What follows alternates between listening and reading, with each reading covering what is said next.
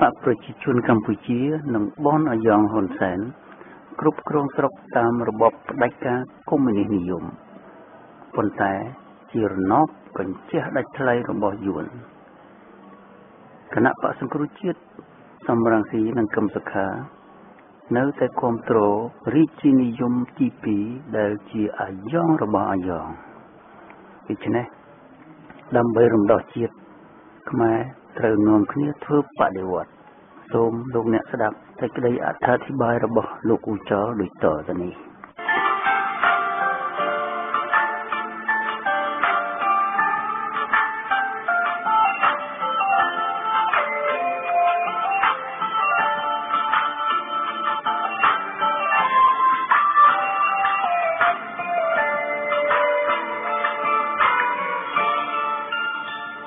ជំរាបសួរបងប្អូន ជនរួមជាតិដែលស្ដាប់វិទ្យុបដិវត្តការឈូកទាំងក្នុងស្រុកទាំងក្រៅស្រុកបកប្រជាជនកុម្មុយនីសខ្មែរផ្ដាច់ការជាបកខ្ញុំកញ្ជះបរទេសបំរើអាណានិគមយួនតាំងពីឆ្នាំ1951មកតាមបំណងចក្រពត្តិយួនដើម្បីកាត់យកទឹកដីខ្មែរតាមគម្រោងហូជីមិញ ដែលបានបង្កើតចលនាកុម្មុយនីសឥណ្ឌូចិនយួនខ្មែរលាវ ហ៊ុនសែនបាននឹងកំពុងបំរើយួន ជាខ្មែរក្រហមតាំងពីឆ្នាំ1978មកមកដល់ពេលនេះវាបានធ្វើឲ្យសម្រេចនៅការកាត់កោះត្រល់កោះក្រចកសេះ និងច្រឹបយកទឹកដីព្រំប្រទល់ឲ្យយួន ស្របតាមសន្ធិសញ្ញានានា ឆ្នាំ1979ស៊ីញេដោយហេងសំរិនផាំវ៉ាន់ដុងនិងសន្ធិសញ្ញា1982 1983 1985និងសន្ធិសញ្ញាបំពេញបន្ថែម2005ប្រថាប់ត្រាដោយស្ដេចទីងមងសីហមុនី ពួកវាផ្ដាច់ការជាអក្រិតជនក្បត់ជាតិម្លឹងហើយនៅតែមានអ្នកនយោបាយខ្មែរចង់ធ្វើច្បាប់លើកលែងទោសឲ្យពួកវាទៀតភ្លើអ្វីក៏ភ្លើម្លេះយុវជននាងសូខុនដែលសិក្សាពុំទាន់ចប់មហាវិទ្យាល័យផងតែមានមនសិការជាតិខ្ពស់បានប្តឹងហ៊ុនសែននាយករដ្ឋមន្ត្រីឆ្កែឈួតទៅតុលាការក្រុងភ្នំពេញពីអំពើក្បត់ជាតិនេះតែមជ្ឈដ្ឋាននានាពុំសង្ឃឹមថាតុលាការអាយ៉ងនឹងហ៊ានចាត់វិធានការលើបណ្ដឹងនេះទេព្រោះគឺជាតុលាការឧបករណ៍រណបយួននិងហ៊ុនសែនពីថ្ងៃ28កក្កដា2013មកហ៊ុនសែនបានច្បាមយក68អាសនៈតាមរយៈកោជបអឹមសួស្ដីទេពនិថាចៅបង្កើតបានជាសភាចៅរដ្ឋាភិបាលចៅដើម្បីវាធ្វើជានាយករដ្ឋមន្ត្រីចៅជាមួយគណៈរដ្ឋមន្ត្រីចៅដែលមានស្ដេចសីហមុនីទីងមងប្រថាប់ត្រាទាំងបិទភ្នែកឲ្យរបបចៅវាជន់ឈ្លីមិនគោរពរដ្ឋធម្មនុញ្ញទេវាប្រើក្បាលស្ដេចសីហមុនីទីងមងថ្ងៃ8មីនា2014នេះរបបហ៊ុនសែនផ្ដាច់ការមិនបានអនុញ្ញាតឲ្យប្រជាជាតិជាពិសេសស្ត្រីខ្មែរប្រារព្ធធ្វើទិវាអន្តរជាតិស្ត្រីទី103ទេសោខេងជាអ្នកពង្រឹងយុទ្ធនីយកម្មបានចំណាយលុយលើកទឹកចិត្តឲ្យប៉ូលីសនគរបាលខ្មែរធ្វើការបង្ក្រាបប្រជាជាតិខ្មែរមិនឲ្យមានលទ្ធភាពធ្វើបាតកម្មនៅលើទីលានប្រជាធិបតេយ្យបានដូច្នេះរបបផ្ដាច់ការវាលួចជាតិពុករលួចយកលុយជួលកងកម្លាំងឲ្យបង្ក្រាបប្រជាជាតិឯងគឺជារបបឈួតស៊ុបមែនតែនហើយកងទ័ពរបស់ទាបាញ់ក៏បានសច្ចាប្រណិធានថានឹងការពីលទ្ធផលនៃការប្លន់សន្លឹកឆ្នោតនេះដែរដូច្នេះប្រទេសកម្ពុជាជាប្រទេសវិកលចរិតផ្ដាច់ការកញ្ចះបរទេសរណបយួនកំពុងបំរើពង្រឹងអាណានិគមសប្តាហ៍ជារដ្ឋគ្រប់គ្រងដោយរដ្ឋាភិបាលចៅនាយករដ្ឋមន្ត្រីចៅដែលស្ដេចសីហនុដាក់ងារជាសម្ដេចឲ្យហ៊ុនសែនជាសឹមហេងសំរិនសីហមុនីក៏ដាក់ងារឲ្យស្ត្រីម្នាក់ជាប្រពន្ធហ៊ុនសែនឡើងជាសម្ដេចដែរហ៊ុនសែនជាឆ្កែឆ្កួតខំប្រជាជាតិឯងក្បត់ជាតិលួចជាតិរំលោភសិទ្ធិសេរីភាពប្រជាជាតិយ៉ាងនេះហើយបែរជាបកបោកប្រាស់ជាតិសសៀសសៀប្រងធ្វើច្បាប់ការពារហ៊ុនសែនជាសឹមហេងសំរិនឲ្យរួចទោសទៅអនាគតកែមសុខាប្រកាសថាគេពុំយកខ្មែរណាធ្វើជាសត្រូវទេដូច្នេះកែមសុខាជាអ្នកការពារនីតិរដ្ឋភាពនៅប្រទេសកម្ពុជា ដើម្បីឲ្យបកសង្គ្រោះចោលអាចចូលរួមក្នុងសភាចោលដើម្បីរបបចោលអាចក្លាយជារបបស្របច្បាប់ហើយបកប្រជាជនកំពុងប្រើល្បិចកលថោកទាបចរចាថ្ពិនភ្នែកបៃលុកបៃលអំបិលប្រហុកជួនកាលធ្វើការគម្រាមផងសម្លុតផងឆាឆៅគណៈបកសង្គ្រោះចោលបកទាំងពីរនេះគ្មានបំណងដោះស្រាយជាជំរឿដើម្បីបំរើផលប្រយោជន៍ប្រទេសប្រយោជន៍ប្រជាជាតិនិងអនុវត្តលទ្ធិប្រជាធិបតេយ្យទេគឺមានតែបដិវត្តផ្កាឈូកទេដែលអាចនាំខ្មែរឲ្យដើរទៅដល់គោលដៅទាំង3បើបកទាំងពីរនេះសហការគ្នាគឺអ្នកនយោបាយខ្មែរពិតជាក្បត់ឆន្ទៈប្រជាជាតិខ្មែរហើយសម្រាប់ប្រជាជាតិមានតែការធ្វើបដិវត្តតែមួយគត់ដើម្បីរំលំរបបចៅក្បត់ជាតិកុម្មុយនីសផ្ដាច់ការដើម្បីដេញអាណានិគមយួននិងដើម្បីយកលទ្ធិប្រជាធិបតេយ្យជូនប្រជាជាតិខ្មែរទាំងមូលខ្មែរត្រូវស្ដាប់សម្ដីលោក Kennedy ប្រធានាធិបតីនៃសហរដ្ឋអាមេរិកដែលសុំឲ្យប្រជាជាតិគេយកសមត្ថភាពទៅបម្រើជាតិសិនកុំគិតតែពីលៀបសការៈដែលខ្លួនអាចទទួលពីប្រទេសជាតិប្រជាជាតិខ្មែរទាំងមូលហ៊ានស្រែកប្រកាសថាត្រូវតែបដូរហ៊ុនសែនចោលបើទុកយូរប្រហែលខ្មែរនឹងខ្លាយដូចជាប្រទេសអ៊ុយក្រែនព្រោះយួនកំពុងបញ្ចូលនិគមជនច្រើនឡើងច្រើនឡើងថ្ងៃណាមួយដូចនៅគ្រីមេសប្តាហ៍ថ្ងៃដែលរុស្ស៊ីជំរុញឲ្យប្រជាជនគ្រីមេធ្វើប្រជាមតិនៅថ្ងៃ16មីនា2014នេះដើម្បីផ្ដាច់គ្រីមេពីអ៊ុយក្រែនឲ្យទៅចូលរុស្ស៊ីវិញបើខ្មែរមិនងើបឲ្យឆាប់ទេប្រទេសខ្មែរនឹងស្លាប់ដោយបាត់កោះត្រល់កោះនានានឹងដីតាមព្រំដែនហើយប្រជាជាតិខ្មែរទាំងមូលស្រែកចង់បដូររបបចៅកុម្មុយនីសសប្តាហ៍ថ្ងៃខ្មែរត្រូវធ្វើពហិការឈប់សហការជាមួយរបបក្បត់ផ្ដាច់ការចៅហ៊ុនសែនគ្រប់វិស័យគឺឈប់ដើរតាមការបោកប្រាស់សំរងស៊ីកាន់សខាដែលបំរើរាជានិយមទី2ហើយចាញ់បោកហ៊ុនសែនចាញ់បោកយួនជាង22ឆ្នាំមកហើយលំមខ្មែរសម្រេចចិត្តហើយជាពិសេសយុវជនគេចង់បដូររបបពុករលួយផ្ដាច់ការនេះណាស់ព្រោះជារបបការពារគ្រួសារហ៊ុនសែនការពារម៉ាហ្វ្យានិងបកប្រជាជនក្បត់ជាតិប្រសង់បានងើបគ្រប់ទិសទីដើម្បីធ្វើឲ្យសាសនាក្លាយជាសាសនាប្រពុតពិតពិតពុំមែនជាសាសនា បញ្ជាដោយសង្ឃហូជីមិញទេពវងលន់ង៉ែតនោះទេ ដែលខំបំបែកបំបាក់វត្តអារាមនានាជា2ជា3ដើម្បីបំរើសាសនាហូជីមិញប្រជាជាតិខ្មែរ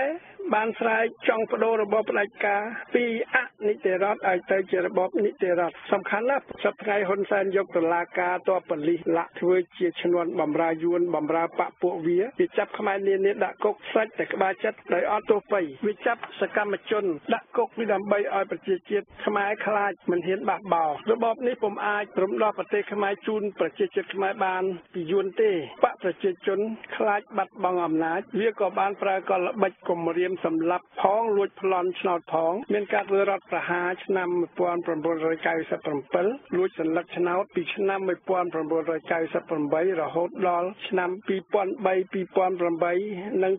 2013ខ្ញុំសូមរំលឹកថារដ្ឋធម្មនុញ្ញខ្មែរមិនអនុញ្ញាតឲ្យមានទោសប្រហារជីវិតទេតែរបបនេះប្រើការសម្លាប់ខ្មែរក្រៅប្រព័ន្ធច្បាប់រីឯបកបោកប្រជាជាតិសុំក្រលុំចោលដើម្បីបំរើរាជានិយមទី2គេប្រើប្រជាពិធបោកប្រជារាស្ត្របើរបបស្ដេចទីងមុងនៅបំរើហ៊ុនសែនបំរើយួនតើបកបោកប្រជាជាតិអាចបំរើប្រជាជាតិខ្មែរបានឬទេព្រោះបកប្រជាជនកំពុងសៀសៀទិញការចរចាជាមួយបកបោកប្រជាជាតិឲ្យបំរើរបបក្បត់ជាតិសពថ្ងៃដោយប្រើពាក្យថាគេបង្រួបបង្រួមជាតិតើគិតមែងមេធនាគារនៃរបបហ៊ុនសែនប្រើទំនាក់ទំនងជាមួយសំរងស៊ីនិងហ៊ុនសែនកម្រិតណាដើម្បីឲ្យបកបោកប្រជាជាតិខ្មែរអាចចូលសភាជាមួយគ្នាធ្វើឲ្យរបបត្រឹមត្រូវស្របច្បាប់តើគេកំពុងចាយលុយប្រជាជាតិខ្មែរអស់ប្រមាណកោតហ៊ុនសែនមនុស្សជុំវិញហ៊ុនសែនជាង20នាក់មានលុយម្នាក់ម្នាក់ជាង1000លានដុល្លារសហរដ្ឋអាមេរិកបកប្រជាជននិងបកសង្គ្រោះចោលអាចនាំគ្នាស៊ីលុយជាតិចាយវិថាវិការជាតិជាមួយគ្នារហូតដល់ឆ្នាំណាទៅអនាគតគឺគេបង្កើតតែទុក្ខវេទនាដ៏ធ្ងន់ធ្ងរទៀតលើប្រជារាស្ត្រខ្មែរស្ដេចនិងរាជវង្សខ្មែរជាឆ្លើងក៏បានស៊ីចុកបុកទំពាគឺស៊ីប៉ែក្នុងរាជានិយមទី2នេះបន្តដែរគឺប្រជាជាតិខ្មែរដែលវេទនាក្នុងជីវភាពសប្តាហ៍ថ្ងៃគ្មានសិទ្ធិសេរីភាពជាមនុស្សជាតិក្នុងសតវត្សទី21នេះទេរីឯអាមីអាថោងជាឆ្លើងដូចផៃសិផានឈៀងវុនជាមយាបកំពុងបន្តសបាយត្រអេកត្រអានលប់សតិក្នុងអំពើពុករលួយមួយក្បត់ជាតិឥតអៀនខ្មាស់ដោយសត្វដេរិឆានជនក្បត់ជាតិនានាមានគិតឈុនជាសៀមហេងសំរិនម៉ែនសំអនហៅណាំហុងសខេងទៀបបាញ់វ៉ាកំហុងបានคล้ายជាឆ្កែបំរើបរទេសដាច់ថ្លៃអស់ហើយដេក ស៊ីចាំតែព្រុសនិងខំខ្មែរបំរើចៅហ៊ុនសែននិងរបបចក្រពត្តិយួនដូច្នេះប្រជាជាតិខ្មែរត្រូវហ៊ានដូរអ្វីអ្វីទាំងអស់បើមិនដូរទេគឺខ្មែរស្លាប់ខ្មែរត្រូវនាំគ្នាធ្វើបដិវត្តគេនាំគ្នាធ្វើទិវាដាក់បណ្ដាសាឲ្យហ៊ុនសែននិងរបបចៅស្លាប់អណ្ដរធាននៅថ្ងៃ15មីនា2014ដោយមានពិធីដុតទីមោងតំណាងរូបហ៊ុនសែនឆ្កែឆ្កួតក្បត់ជាតិឲ្យស្លាប់រលាយរូបហិនហោចតៃហោងតាមការអំពាវនាវនៃលោកក្របខ្សាច់និងលោកសានសវិតនៃវិទ្យុខ្មែរពិភពលោកយុវជនខ្មែរក្នុងប្រទេសទាំងមូលប្រមានសូមកុំឲ្យបាក់បោកប្រាស់ជាតិសំរងស៊ីកាន់សខាចូលរួមក្នុងសភាថ្មីនេះឲ្យសោះប្រជាជាតិជាទីគោរពយើងត្រូវតែងើបទាំងអស់គ្នា បើយើងមិនងើបបះបោទៀមទៀតទេជនផ្ដាច់ការយួនអាណានិគមវានឹងមិនប្រគល់ឲ្យយើងនៅអ្វីអ្វីដែលជាសិទ្ធិនៃប្រជាជាតិយើងទេ អនាគតកូនខ្មែរគឺស្ថិតនៅក្នុងកណ្ដាប់ដៃយើងជាខ្មែរខ្មែរអើយក្រោកឡើងនាំគ្នាធ្វើបដិវត្តយើងមិនត្រូវរងចាំមើលទេតើប្រជាជាតិខ្មែរនៅទ្រាំរហូតដល់ពេលណាទៀតទើបនាំគ្នាងើបវាយកាប់សម្លាប់ចោល500ក្បត់ជាតិខ្មែរក្រហមកុម្មុយនីសទាំងនេះចោលសំទោសបើអាចជៀសវាងក្រៅពីធ្វើហិង្សាត្រូវតែជៀសវាងឲ្យបានព្រោះបើ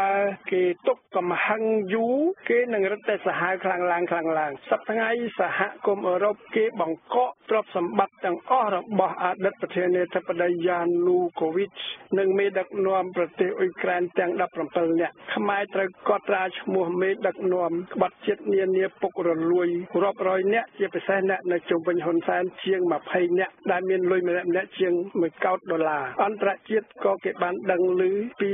រឿងនេះអស់ហើយរួមសេចក្តីសប្តាហ៍ប្រទេសកម្ពុជារស់ក្នុងអំពើផ្ដាច់ការកញ្ចេះយួនយួនវាត្រួតត្រាកងទ័ពខ្មែរបញ្ជារដ្ឋាភិបាលខ្មែរសភាខ្មែរត្រួតប៉ូលីសនគរបាលតុលាការខ្មែរចាយវាយថវិកាជាតិខ្មែរចម្រាញ់យកសេដ្ឋកិច្ចខ្មែរគ្រប់ផ្នែកទេសចរទូរគមនាគមន៍កសិកម្មកៅស៊ូនេសាទឧស្សាហកម្មអគិសនីនយោបាយក្នុងស្រុកក្រៅស្រុក សប្តាហ៍ខ្មែរមានរបបឈួតលីលាលប់សតិដោយមានហ៊ុនសែនជានាយករដ្ឋមន្ត្រីចៅចាយលុយជាតិខ្មែរដើម្បីចិញ្ចឹមទ័ពប៉ូលីសកងអង្គរៈឲ្យបម្រើវា ធ្វើចោលបង្ក្រាបប្រជាជាតិឯងទាំងមួយនគរមិនឲ្យមានសេរីភាពសប្តាហ៍ហ៊ុនសែននិយាយបបាច់បបោចអត់នៃសម្ដីគ្រុតគ្រៀតបាតសានិយាយពីមុខវានឹងមុខអ្នកប្រឆាំងថានៅដដែលដដែលនិយាយថាវានឹងបន្ត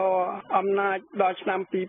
2025និយាយពីការធ្វើច្បាប់ប្រឆាំងខ្មែរណាដែលមានសញ្ជាតិ2កុំឲ្យមានសិទ្ធិធ្វើនយោបាយលាក់ចុះវាជាជនផ្ដាច់ការលួចឆ្នោតរាជក្បត់ជាតិអក្រិតជនម៉ាហ្វ្យាហេតុអ្វីក៏វាមានសិទ្ធិច្រើនម្ល៉េះព្រោះខ្មែររស់ក្រោមអាណានិគមយួនដែលបន្តច្រឹបយកទឹកដីព្រំប្រទល់កោះត្រល់កោះក្រចកសេះព្រោះហ៊ុនសែនមិនហ៊ានលុបសន្ធិសញ្ញាទ្វេភាគីអយុធធរ1979 1981 1982 1983 1985ហើយបែរជាធ្វើសន្ធិសញ្ញាបំពេញបន្ថែម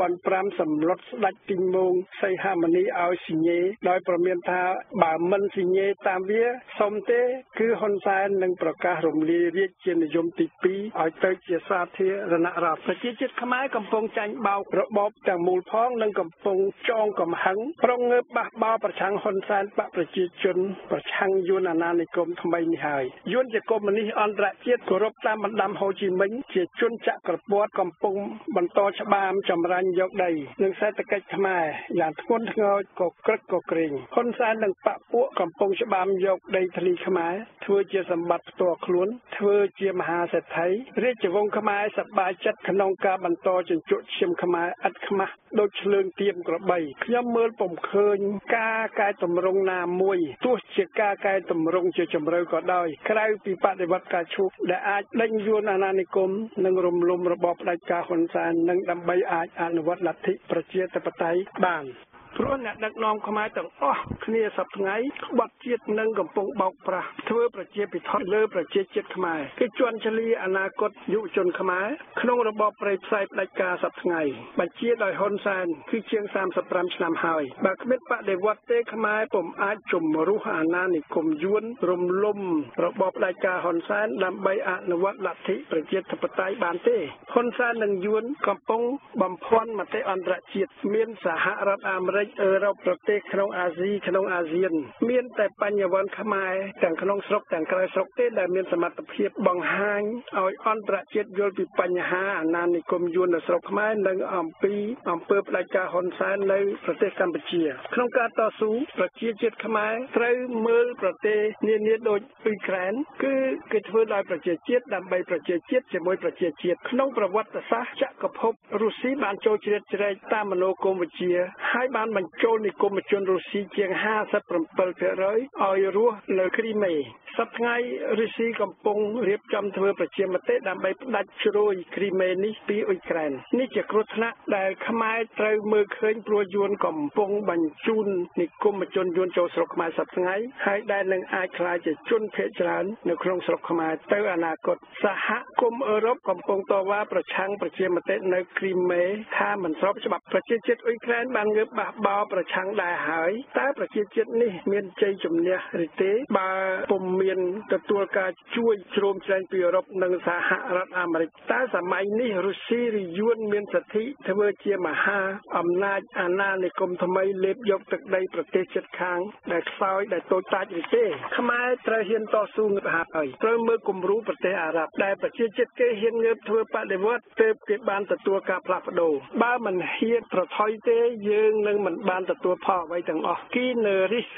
រៀងណារៀងខ្មែរត្រូវហ៊ានងើបទាំងអស់គ្នានៅពេលសំស្របណាមួយប្រទេសនីមួយៗបាននាំគ្នាងើបហើយដើរតាមផ្លូវប្លែកប្លែកគ្នាឆ្ពោះទៅរកគោលដៅបដិវត្តត្រូវគិតពិចារណាថ្លឹងថ្លែងរកយុទ្ធវិធីឲ្យយូរនិងល្អិតល្អន់ទើបខ្មែរម្នាក់ម្នាក់បញ្ចេញ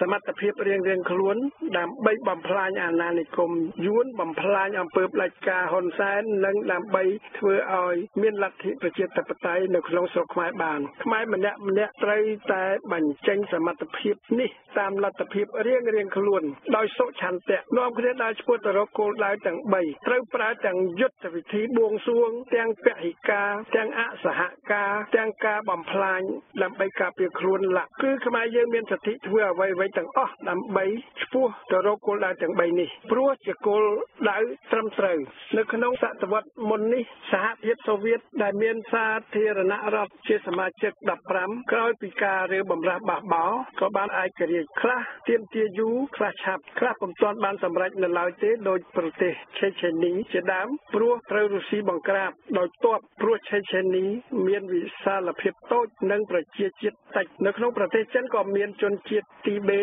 វីហ្គួងើបក្រោកទៀមទារកឯករាជ្យដែរតែចិនបង្ក្រាបយ៉ាងខ្លាំងក្លានៅយូហ្គោស្លាវីជិត10ប្រទេសជាសមាជិកបានទទួលឯករាជ្យហើយ ហើយគេកំពុងខំកែប្រែច្បាប់ប្រទេសគេដើម្បីចូលរួមក្នុងសហគមន៍អឺរ៉ុបដើម្បីទទួលសេរីភាពលទ្ធិប្រជាធិបតេយ្យនិងអភិវឌ្ឍសង្គមសេដ្ឋកិច្ចសមាគមអាស៊ានជាសហគមន៍ពុំទាន់មានគោលដៅជ្រៅជ្រះដូចនៅអឺរ៉ុបទេ ដែលមានសៀបម៉ាឡេស៊ីឥណ្ឌូនេស៊ីហ្វីលីពីនប្រ៊ុយណេសិង្ហបុរីជាអ្នកដូចផ្ដើមយួននៅតែជាអាណានិគមចាស់គំរិលខំបន្តអនុវត្តមនោគមវិជ្ជាកុម្មុយនីសហើយកំពុងបន្តលេបរាតត្បាតឥណ្ឌូចិនមានខ្មែរលាវខ្មែរត្រូវតែរើបំរាស់ព្រោះសម័យនេះខ្មែរពុំនៅឯកោម្នាក់ឯងនៅក្នុងលោកទៀតឡើយបើខ្មែរហ៊ានងើបគឺខ្មែរឈ្នះខ្មែរមានកិត្តិយសយ៉ាងហោចណាស់ក៏ត្រូវធ្វើដូចសៀមដូចហ្វីលីពីនដើម្បីបានសេរីភាពនិងលទ្ធិប្រជាធិបតេយ្យជាដំបូងសិនដែរភាពវិជ្ជមាននៃសមាគមអាស៊ាន គឺដើម្បីអភិវឌ្ឍសេដ្ឋកិច្ចប្រកាន់អភិក្រិតដើម្បីពង្រឹងសិទ្ធិសេរីភាពពង្រឹងលទ្ធិប្រជាធិបតេយ្យប្រទេសថៃសិង្ហបុរីហ្វីលីពីនឥណ្ឌូនេស៊ីម៉ាឡេស៊ីប្រ៊ុយណេមានសន្តិភាពខ្លះមានលទ្ធិប្រជាធិបតេយ្យខ្ពស់ខ្លះមានអភិវឌ្ឍសេដ្ឋកិច្ចខ្លាំងពលរដ្ឋគេមានជីវភាពប្រសើរគេមានចំណេះខ្ពស់មើលឃើញវែងឆ្ងាយប្រ៊ុយណេនិងសិង្ហបុរីមានសន្តិភាពតាមរបបផ្លាយផ្លាយរបស់គេសសិង្ហបុរីជាក្បាលម៉ាស៊ីននៃអាស៊ាននិយាយពីការតស៊ូនៃប្រជាជាតិខ្មែរជាការចាំបាច់ណាស់ដើម្បីឯករាជ្យខ្មែរសិនខ្មែរពុំត្រូវពឹងទាំងស្រុងលើ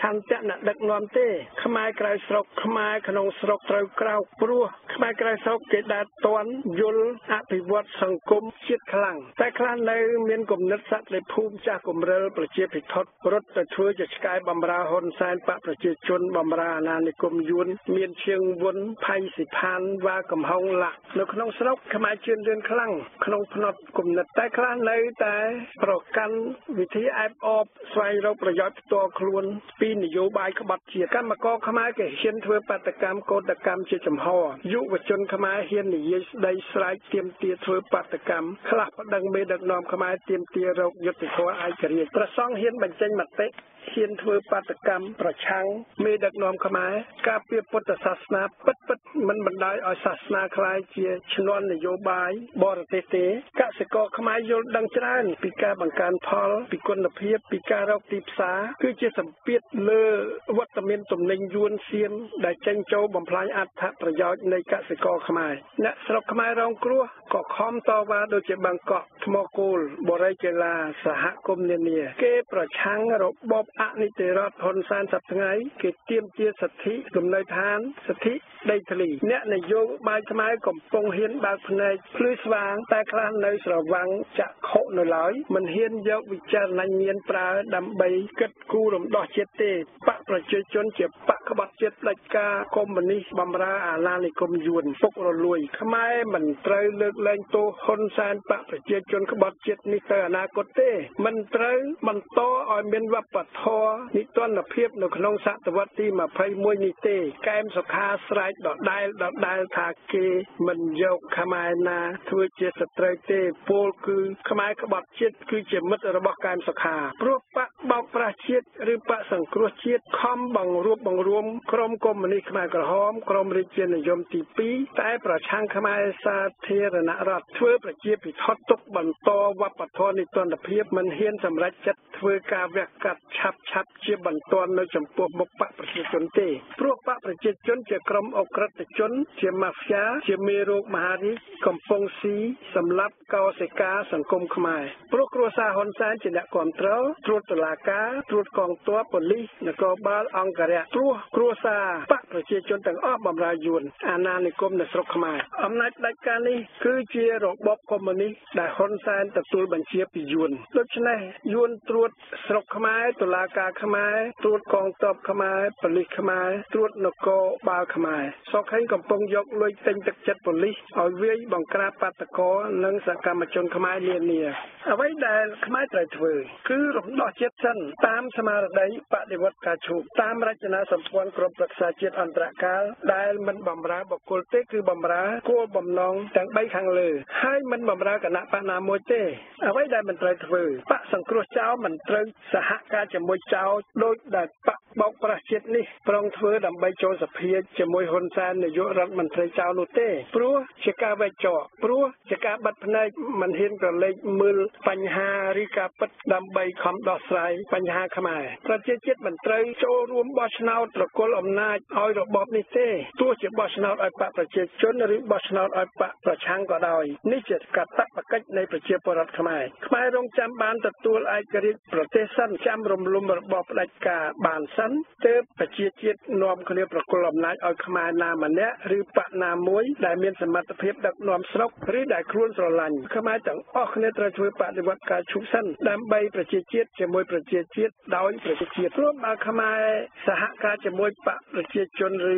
ជាមួយបកបោកប្រាស់ជាតិសំឡងស៊ីកែនរខានោះគឺខ្មែរជួយពង្រឹងអាណានិគមយួននៅស្រុកខ្មែរសប្តាហ៍ថ្ងៃតាមការប្រគល់អំណាចឲ្យបកនយោបាយនានាដើម្បីពង្រឹងបកប្រជាជនក្បត់ជាតិជាប្រយោលហើយនឹងជួយឲ្យបកបោកប្រាស់ជាតិពង្រឹងរបបប្រជានិយមទី2ស៊ីប៉ែបើខ្មែរបន្តសហការក្នុងរបបនេះប្រជាជាតិខ្មែរនឹងស្លាប់ជាដាច់ខាតយុវជនខ្មែរនឹងគ្មានអនាគតគឺរស់គ្មានកិត្តិយសនិងគ្មានក្តីសង្ឃឹមប្រជាជាតិខ្មែរត្រូវតែយកឈ្នះតាមការធ្វើបដិវត្តដូច្នេះម្នាក់ម្នាក់ត្រូវជួយគិតពីយុទ្ធវិធីបដិវត្តនេះផងឲ្យបានជ្រៅជ្រះសិនដើម្បីអនុវត្តរៀងរៀងខ្លួនទៅអនាគតដោយប្រជាជាតិជាមួយប្រជាជាតិដើម្បីប្រជាជាតិនិងឲ្យបានប្រសិទ្ធភាពអត្តាហេអត្តណោនេថោគឺខ្លួនទីពឹងខ្លួនសិនបើយើងចង់គឺយើងអាចធ្វើបានវូល័សែពូវគឺខ្មែរនឹងអាចសម្រេចអ្វីៗបានទាំងអស់បើខ្មែរមានសេចក្តីក្លាហានជាមួយអន្តរជាតិដែលនឹងចេញមកជួយយើងជាដាច់ខាតពេលណាប្រជាជាតិយើងខ្លាំងតែម្នាក់អ្នកត្រូវធ្វើអ្វីខ្លះខ្មែរក្រៅស្រុកមានភារកិច្ចសំខាន់បំផុតទាំងប្រាជ្ញាទាំងហិរញ្ញវត្ថុខ្មែរក្នុងស្រុកចាំបាច់តាមកម្លាំងកាយតាមល្បិចកលផ្ទាល់ខ្លួនរៀងរៀងខ្លួនតាមក្រុមតាមគ្រួសារតាមសម្ពាធផ្ទាល់លើយួនលើហ៊ុនសែនលើសំរងស៊ីកែមសុខាតាម Facebook នេះគឺជាមុខវិជ្ជាយុវជន និងបញ្ញវន្តក្នុងប្រទេសក្រៅប្រទេសតាមអ៊ីនធឺណិតគឺជាការជៀសពំរួចក្នុងសម័យទំនើបនេះប្រជាជាតិខ្មែរទាំងមូលគឺជាទ័ពរំដោះដោយស្ម័គ្រចិត្តគឺជាមូលដ្ឋានរំដោះប្រជាជាតិខ្មែរគឺប្រជាជាតិខ្មែរទាំងមូលដែលអាចជួយប្រជាជាតិខ្មែរដោយខ្លួនឯងនិយាយពីជំនួយនិងការគ្រប់គ្រងពីអន្តរជាតិគឺជាជំនួយដែលមកតាមក្រោយ សម្រាប់ជួយដំរែតម្រង់យុទ្ធវិធីខ្មែរដើម្បីជួយឲ្យប្រជាជាតិខ្មែរឈ្នះជាស្ថាពរពិតពិតទៅអនាគតគឺតាមជំនួយ អង្គការអន្តរជាតិផ្លូវការមានអង្គការសហ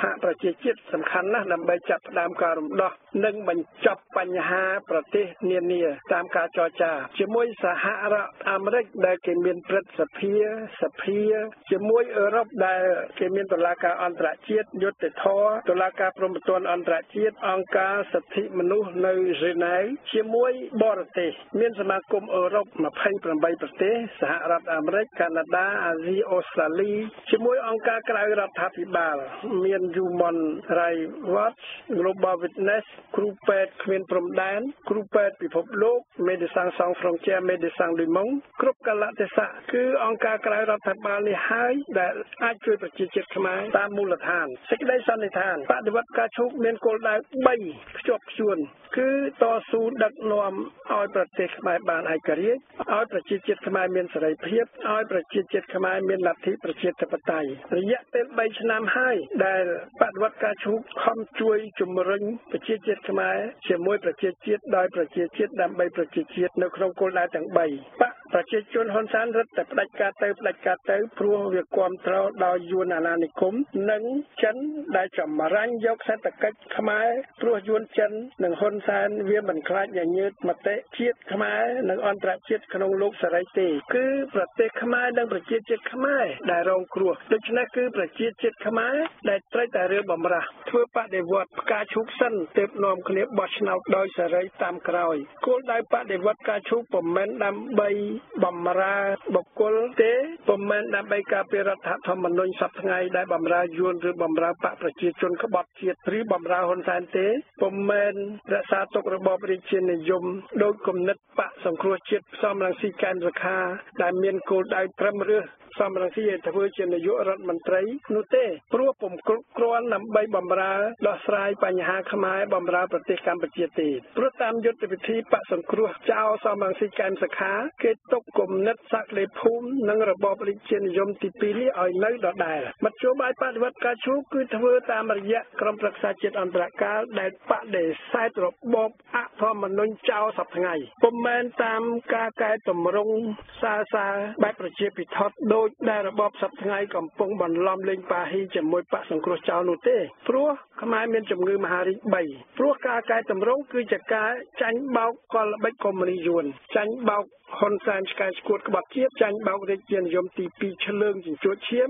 ខ្មែរក្បត់ជាតិចាញ់បោកសំរងស៊ីកែមសខាដែលខំប្រែរូបដោយនិយាយពាក្យប្រជាពិធថាគេមិនយកខ្មែរណាធ្វើជាសត្រូវពលគឺគេគ្រប់គ្រងខ្មែរក្បត់ជាតិខ្មែរពុករលួយខ្មែរជញ្ជក់ឈាមខ្មែរឲ្យបន្តធ្វើភ្លៀងធ្វើផ្គរនៅក្នុងស្រុកខ្មែរដូច្នេះគឺជំងឺមហារីករឹតតែមានភាពធ្ងន់ធ្ងរទៅធ្ងន់ធ្ងរទៅខ្មែរត្រូវធ្វើបដិវត្តការឈូកដើម្បីដាក់ថ្នាំបដិវត្តខ្លាំងបន្ទាន់ឆាប់ទៅខ្មែរអាចជាពីជំងឺមហារីកទាំង3នេះបាន គឺត្រូវបដូររបបរាជានិយមជាឈ្នន់អាណានិគមយួនចោលឲ្យបានសិនព្រោះរបបនេះទុកសន្ធិសញ្ញា1979 1982 1983 1985និង2005បន្ថែមនៅដដែលបន្តសុពលភាពដើម្បីបំរើអាណានិគមយួនខ្មែរពុំអាចទាមទារទឹកដីខ្មែរពីយួនដោយទុករបបរាជានិយមទី2នេះនៅដដែលបានទេ គឺជាឈ្នន់របស់បកកុម្មុយនីសហ៊ុនសែនបំរើយួន គឺជាឈ្នន់នៃបកសង្គ្រោះចោលបោកប្រាស់ជាតិសំរងស៊ីកែមសខាខ្មែរត្រូវហ៊ានបះបោខ្លាំងឆាប់ឆាប់ជាបន្ទាន់ងើបដើម្បីទទួលឆាប់បានឯករាជ្យឆាប់ទទួលសេរីភាពនិងអាច អនុវត្តលទ្ធិប្រជាធិបតេយ្យបានឆាប់ឆាប់បើទុកយូរខ្មែរនឹងស្លាប់ជាដាច់ខាតជ័យយោបដិវត្តការជោគជ័យយោក្រុមប្រឹក្សាជាតិអន្តរកាលជំរាបលាបងប្អូនជនរួមជាតិដែលស្ដាប់វិទ្យុបដិវត្តការជោគទាំងក្នុងស្រុកទាំងក្រៅស្រុកសូមអរគុណ